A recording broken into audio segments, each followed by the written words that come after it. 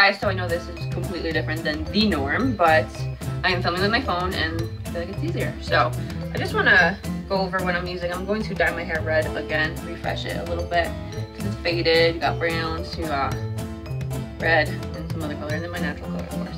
So I'm just gonna go over what I'm using and show you the process and how I do it. Yes, of course, even though I'm a licensed cosmetologist, I do use Fox Hair Kill Me.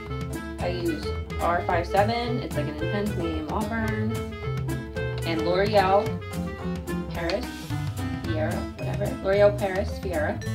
Power Red is my go-to, always. I feel like it's the best for my hair, doesn't dry it out, and so here we go. I know it's not required, I use my bowl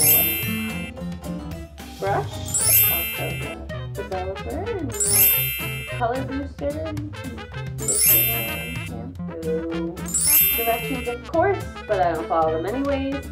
And a little extra added on was a L'Oreal insert thing. My stuff out. I'm taking a little bit of cholesterol cream. Cholesterol cream. Looks like this. And I'm just taking a little bit of my finger and I am going to go around the outline of my hairline. Because I don't want to have red on my skin. So you want to make you all pieces. You can do it cholesterol cream, you can do it with cream, or you can do it with lotion. So that matters, it goes in the head sometimes. I'm inclined to use some cream usually. Go around your ears, back of your neck area. This will make it not stick. Ears, back your neck. Just emptied the gel container, color container. It's more of like a liquid than a gel, if anything. Um, so that's liquidy, the developer is liquidy. It's gonna be a little bit of a mess, that's why I have paper towels down. Okay, the next thing I'm opening is this red power color, color booster. This thing is like, like a paint. It's like very liquidy, it's like a dye. It's like uh, food coloring, if not worse. This gets anywhere, it's gonna stain. Um, on your hands, anywhere. I only add like half the bottle because I'm not trying to look like a bloody mess in the bathroom because this is very liquidy. It will just spray everywhere on the walls, least expect it. So I just, yeah, I'm just using this a little bit. This stuff honestly reminds me of blood that you like put on your makeup for Halloween. That's how red it is. It looks like I'm just bleeding the bottle. So I'm just using half of that because I'm not trying to kill my hair. I'm not trying to kill the. Oh, it's fun to squirt. Wow, look at this light. I haven't filmed in my bathroom since like 2010 and obviously it's a new bathroom. Good thing I have these mirrors that come open and I can lay it on the shelf. Wow, look at that light just bouncing off my forehead. This looks so bad, but that's not the focus. The focus is my hair, so just don't look at my five finger forehead, okay? Now I am mixing the mixture together. It looks, it's very liquidy, it's very red. The face I make next is absolutely hilarious because I got a really strong whiff of it as I was mixing. You could just hear Kevin Hart screaming, she wasn't ready! Very red. And the smell isn't too bad compared to um, the cheaper brands of uh, box color that I've worked with. Mind you, if you don't know anything about me, or if you don't know me, you'll know that now, I do not like working with color. It's very rare, so I don't work in an actual salon. I work at a hair cutting place only. I feel like I love when the colors are nice, but they're not permanent and they grow out and I feel like a waste. So I don't go crazy with that. So first thing I'm gonna do is I'm just gonna go around the outline of my forehead and it's just so weird doing this in my mirror. I mean, in my phone I can see, but I have my mirror there.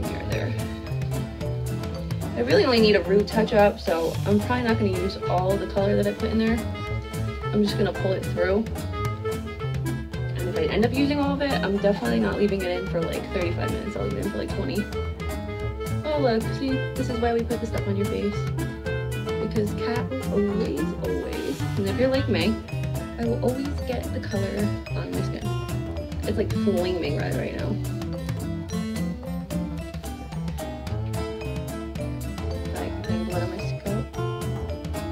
From my widow's peak.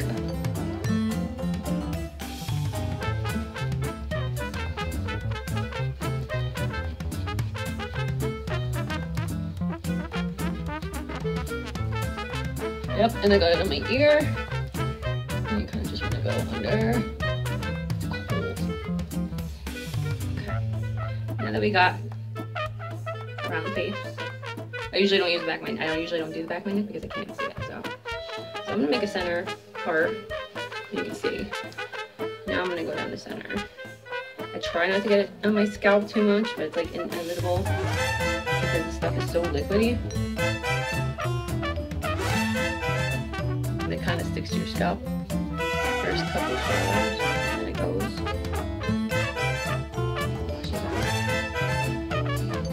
So I just did like, you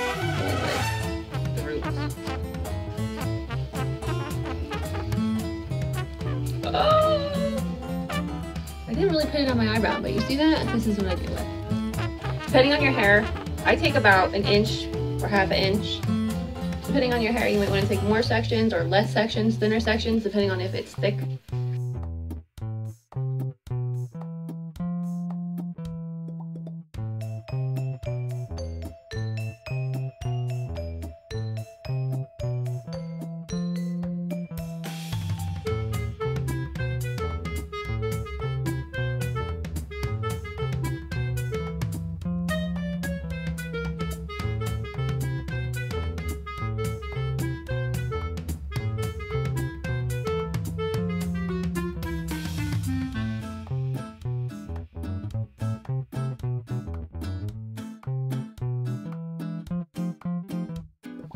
Okay, so now I'm just finding spots that are dry and I'm just dousing them in hair dye.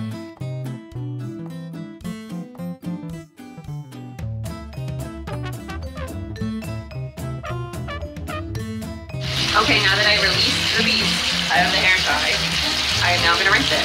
How dark my eyebrows look, oh my god. So bring you guys with me, to see how well this works. If this video doesn't finish, it's because I dropped my phone the tub. Here we go.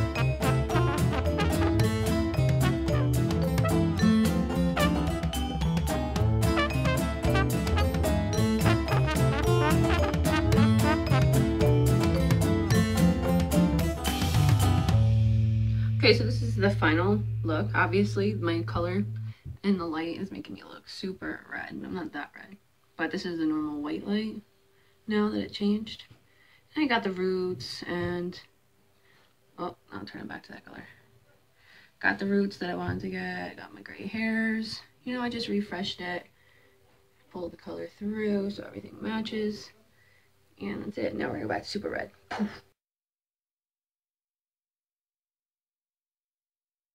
Subscribe.